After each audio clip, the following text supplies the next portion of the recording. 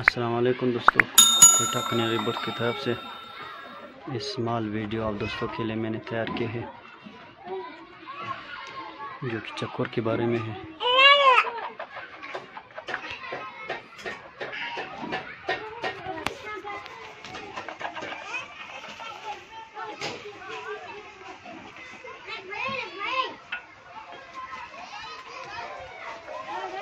Thank you.